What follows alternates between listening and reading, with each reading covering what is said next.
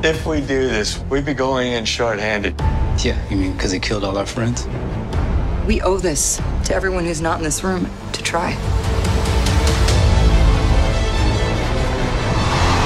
It's not about how much we lost. It's about how much we have left.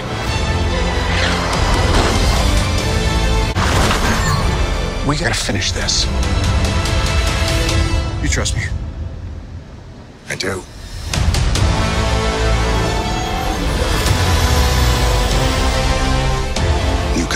Live with your own failure. Where did that bring you? Back to me.